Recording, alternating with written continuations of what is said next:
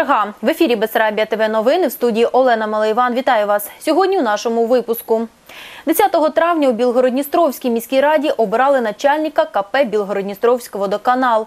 11 травня в Ізмаїлі відбулася урочиста церемонія підняття державного прапору України та Євросоюзу, присвячена Дню Європи в Україні. Тротуарний бум. У Акермані тривають роботи з благоустрою. Поліцейські затримали 44-річного акерманця, у якого виявили та вилучили пістолет та наркотичні речовини. Всеукраїнська акція Можеш допоможи, потребуєш візьми триває. Про це та не тільки дивіться далі. Залишайтесь з нами та не перемикайтесь.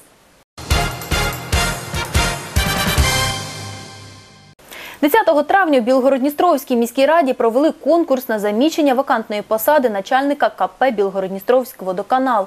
Взяти участь у відборі побажали чотири кандидати, які мають досвід у роботі в комунальній сфері. Сам захід пройшов досить напружено та емоційно. Та незважаючи на це, нового керівника все ж таки обрали. Вже деякий час одне з комунальних підприємств Білгородністровського залишалось без керівника. У міській раді оголосили про конкурс на заміщення вакантної посади.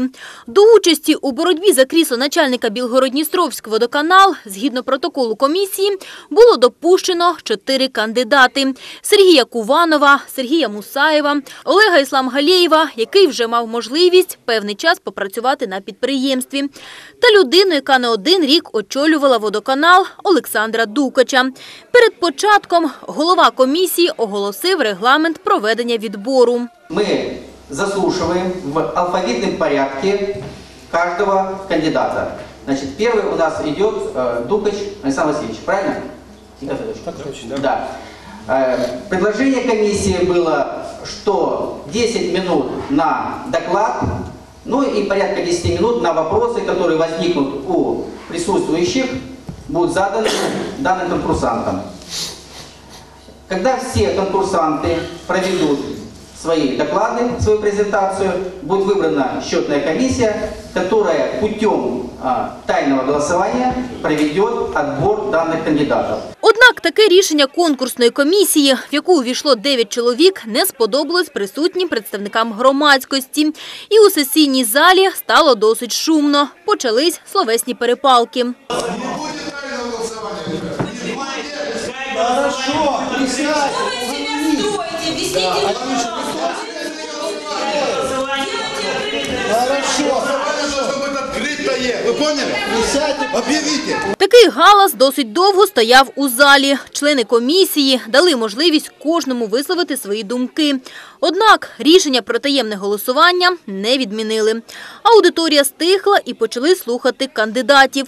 Кожен з них пропонував власну програму та розповідав про шляхи, які мають намір зробити, аби вивести підприємство зі збиткового стану, як забезпечити населення якісним водопостачанням та як поліпшити якість рідини, що тече з кранів користувачів.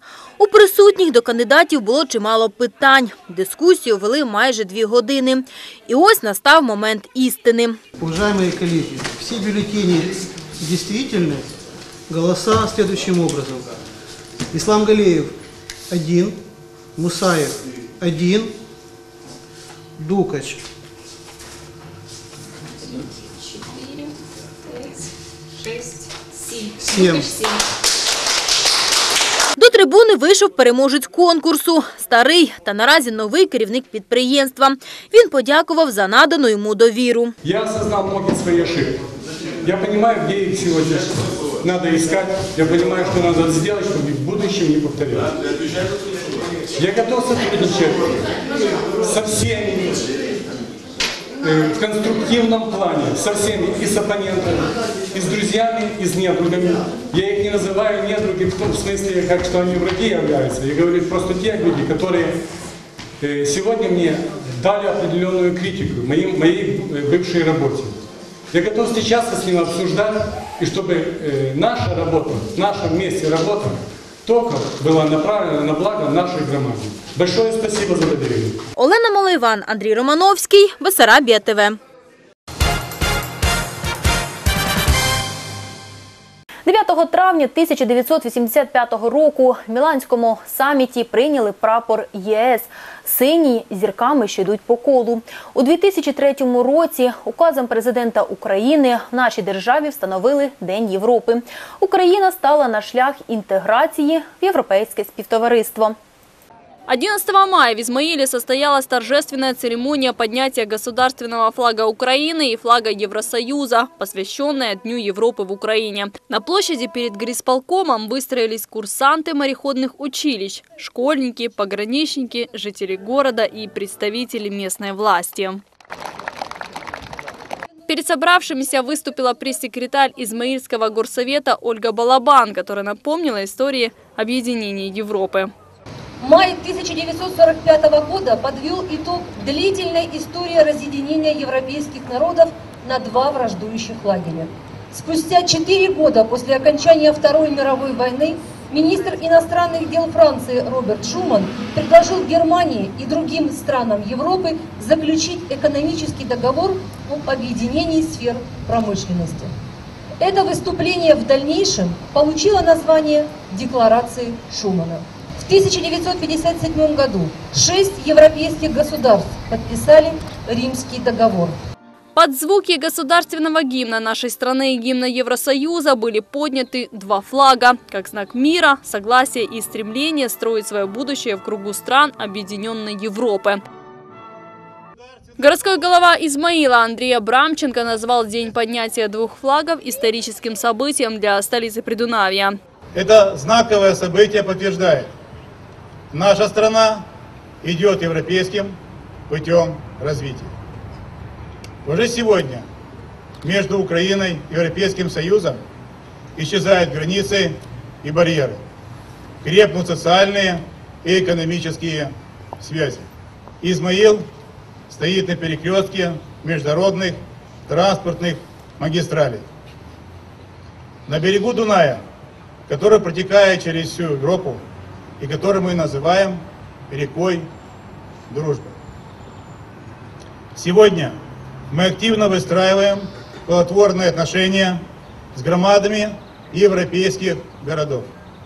Выступаем партнером в программах и грантах Евросоюза. Мы чувствуем поддержку наших европейских коллег. Их огромное желание помочь громаде Измаила в реализации инфраструктурных проектов. Их стремление приблизить уровень жизни в нашей стране к европейским стандартам. Именно поэтому День Европы становится украинским историческим праздником. Будущее Украины в семье европейских народов. Галина Величко, Игорь Коц, Измаил, Бессарабия ТВ. До Одеси знову прибув борт з пораненими бійцями. Хлопці привезли вранці 11 травня на літаку. Усіх транспортували до військового шпиталю. Усього доставили 14 поранених, 5 з них у важкому стані. У нас опять борт, 14 ребят, 5 в реанімацію. Пише волонтер Андрій Танцюра на своїй сторінці у мережі Фейсбук. У Білгородністровському тривають роботи з благоустрою тротуарів. Одночасно будівельники працюють на трьох об'єктах. Поспішають все завершити найближчим часом. Де ще в цьому році будуть облаштовувати нові пішохідні доріжки, дізнавалася Тетяна Карпенко. Центр Белгороднестровского отныне будут украшать новые пешеходные дорожки. В проект по обновлению тротуаров в этом году вошли улицы Первомайская от Николаевской до Олимпийской, Николаевская от Московской до Вокзальной и Свято-Георгиевская от Николаевской до Измаильской. На сегодняшний день строители одновременно работают на трех объектах. На улице Первомайской происходят масштабные работы по укладке тротуарного покрытия. Начиная от улицы Комсомольской, это Олимпийская, до улицы Дзержинского. Общая площадь объекта составляет две с половиной тысячи квадратных метров. Э, Значит, э, срок выполнения, э, срок выполнения работ по договору с подрядной организацией согласно норм трудозатрат на этот объект запланирован, ну, как бы по э, срок выполнения работ по договору до 25 июня. Но в связи с тем, что подрядчик работает очень быстро, качественно, вот, и объект находится в пешеходной зоне, э, в застроенной части города, нам бы хотелось бы этот объект закончить побыстрее. Вот, планируем сделать подарок городу. Я думаю, что в среду работы по укладке тротуара будут закончены. По словам Ольги Трушкиной, еще не завершили работы по улице Николаевская, так как на этом участке идет ярмарочная торговля рассада. Здесь все закончить планируют немного позже.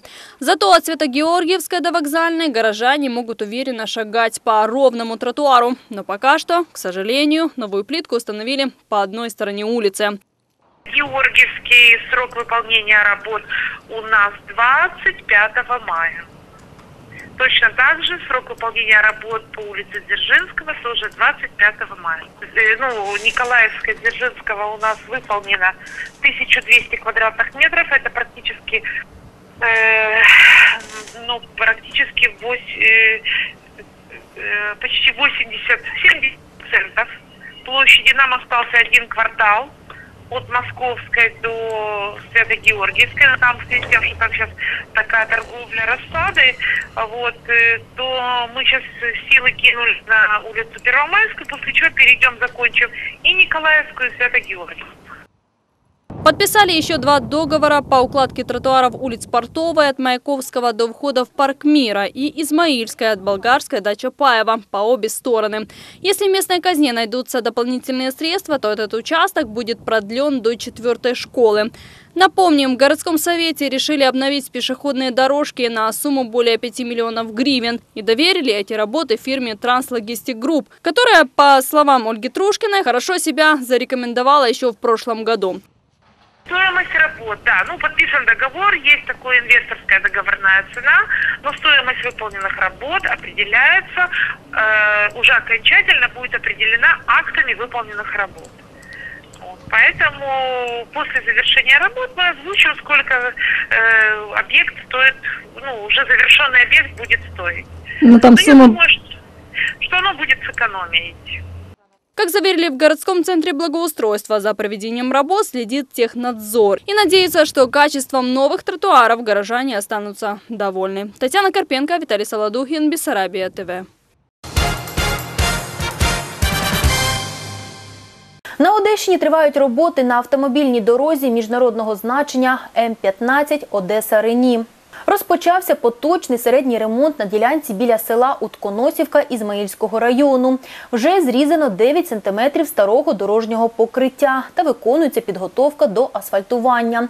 Аби термін експлуатації траси був довший, її спочатку вирівнюють щебенем. Під нижній шар асфальтобетону встановлять сітку, а далі вкриють одним шаром асфальту завтовшки 10 сантиметрів, а потім ще 5. Ремонтні роботи виконує підрядна організація ТОВ Березівка Агрошляхбуд. Про це повідомили у прес-службі Одеської обласної ради.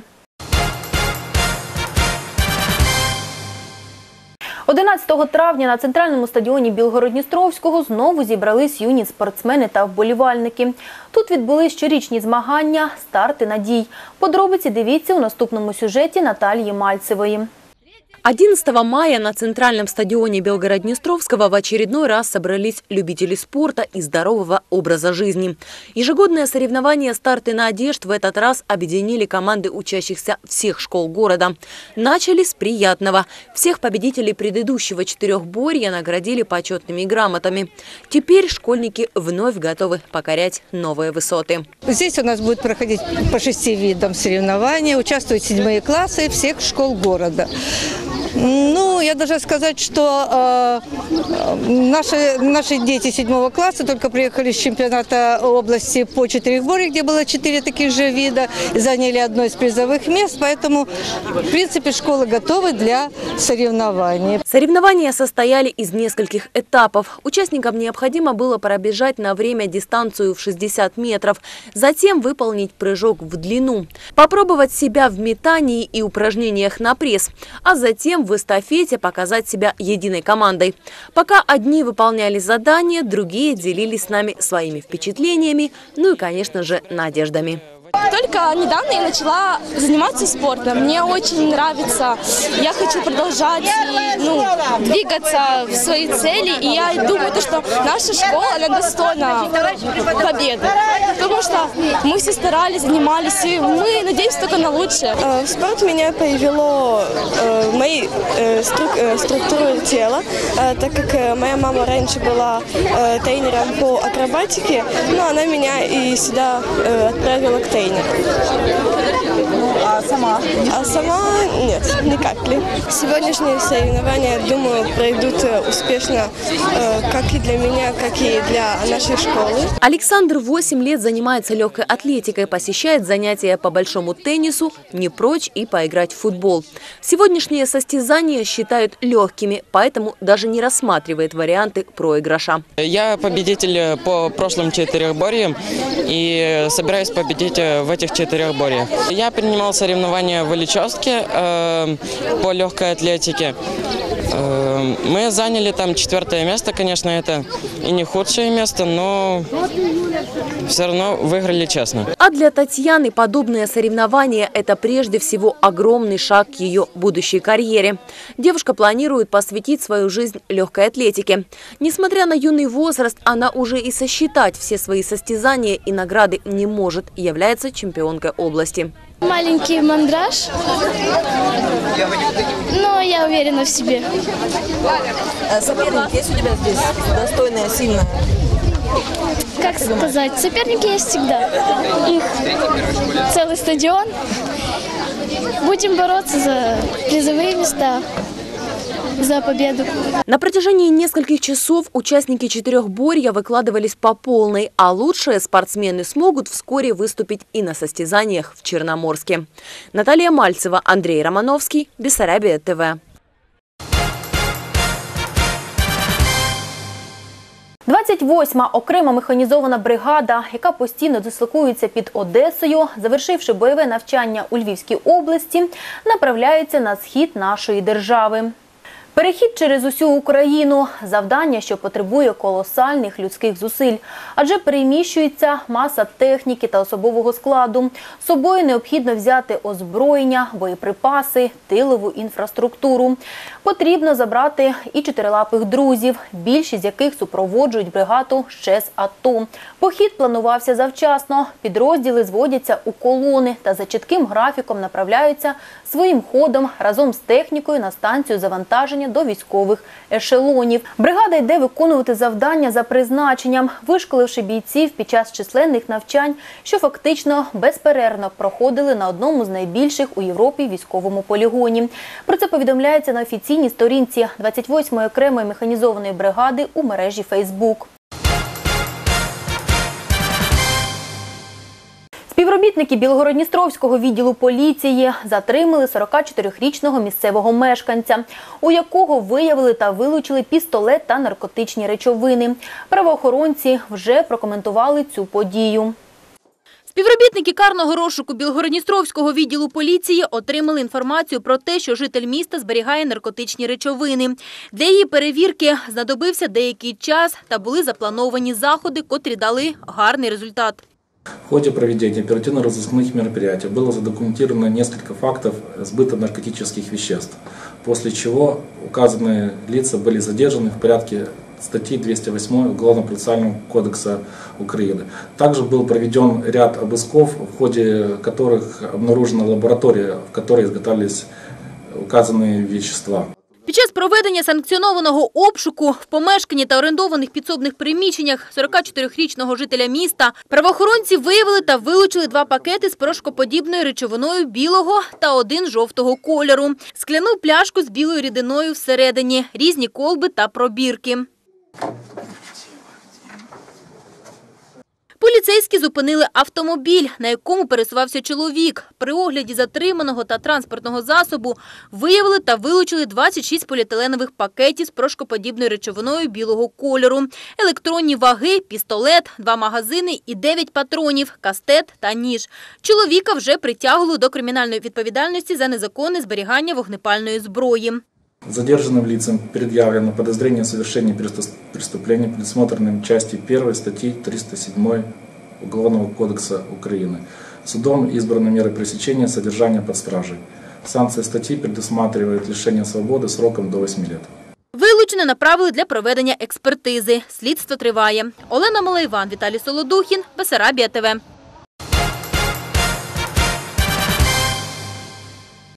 У середу 10 травня свято приполовення П'ятидесятниці з благословенням митрополита Одеського та Ізмаїльського Агафангела вулицями Кілії пройшов хресний хід.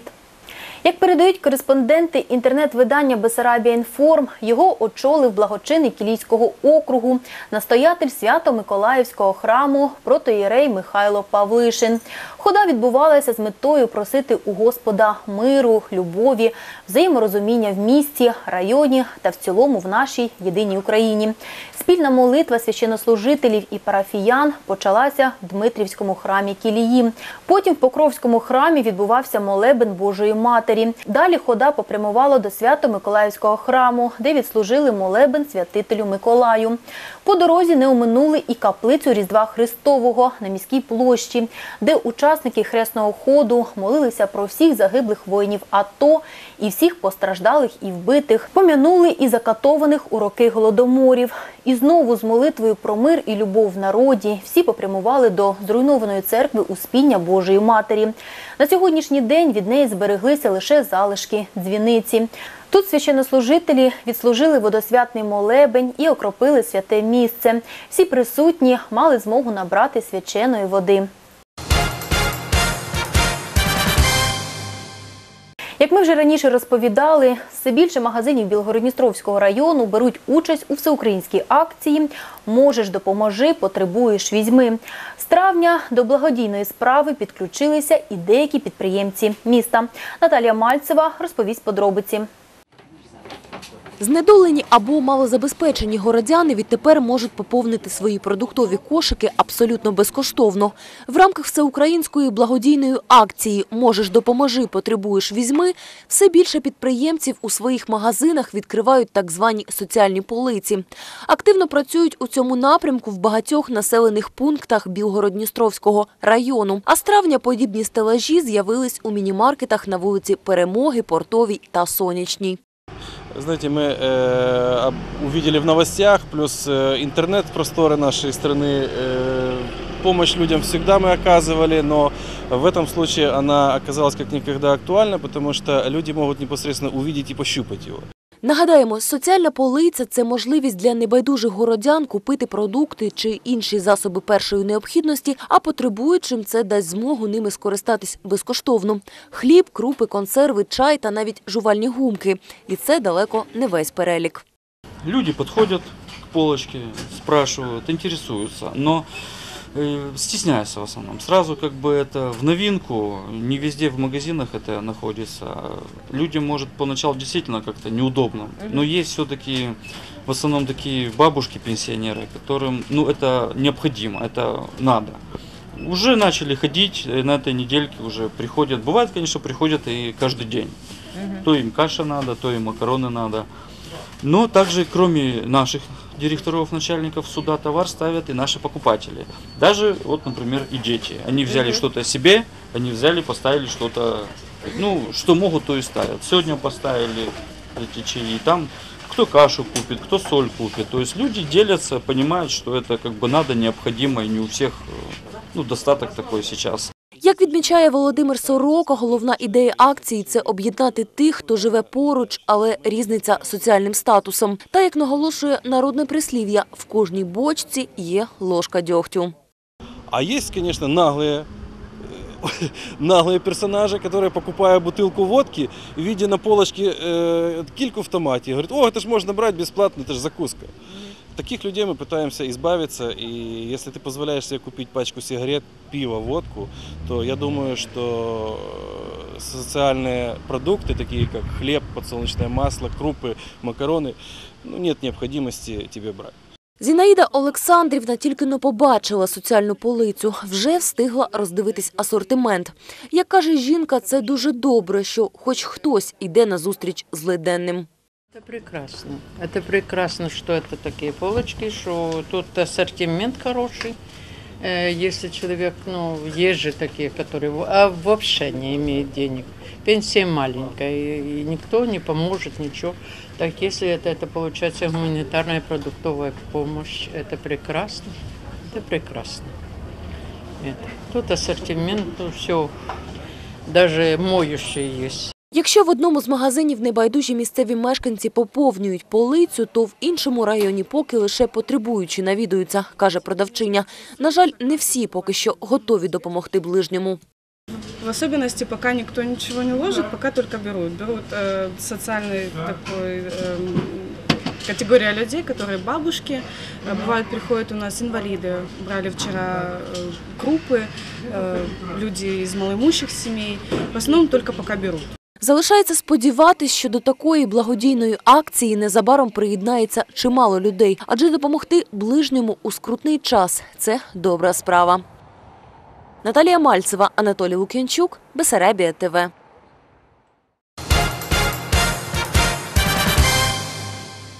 Понад 50 років свого життя вона присвятила професії лікаря, рятувала людські життя.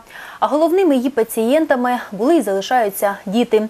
Тому що, втративши молодшу сестричку, десятирічна дівчинка дала собі слово, що вона зробить все, щоб таке не повторювалося, і стала лікарем.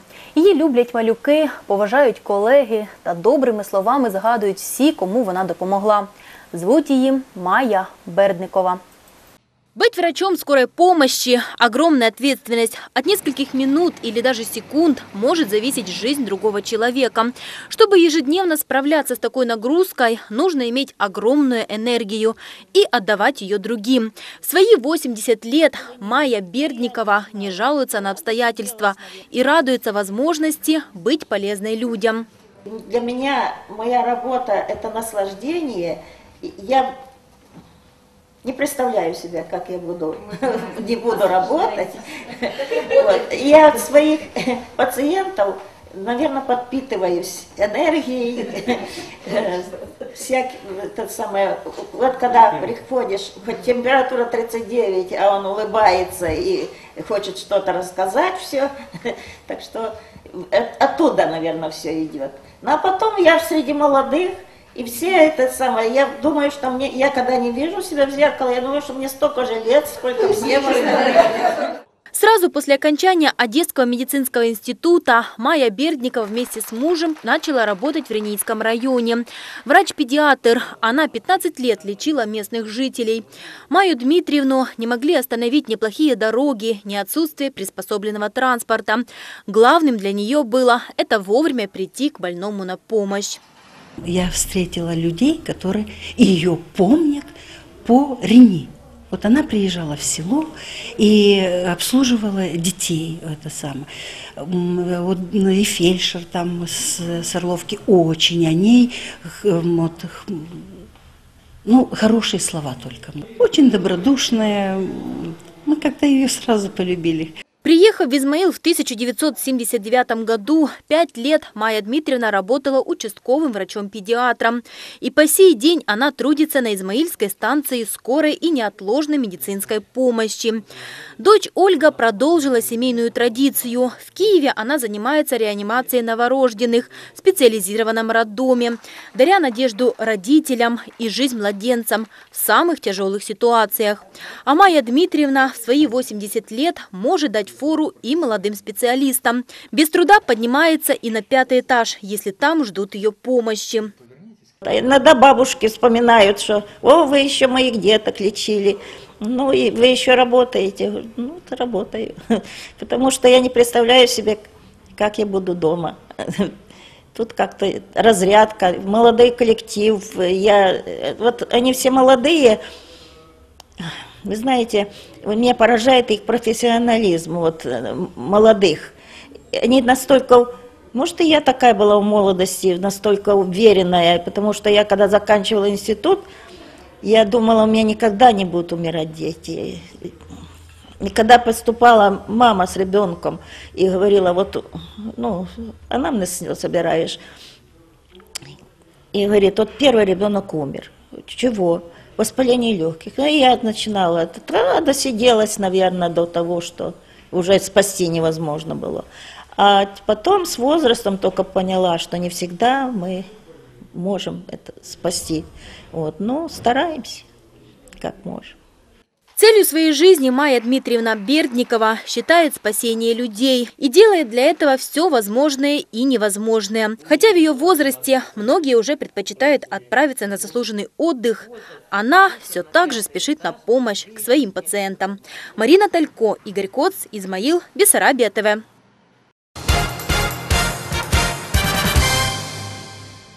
Ось такі були новини дня, що минає. Зустрінемось вже завтра, як завжди, о 18.00 на телеканалі Бесарабія ТВ. В студії для вас буде працювати Тетяна Карпенко. Усього вам найкращого та бережіть себе.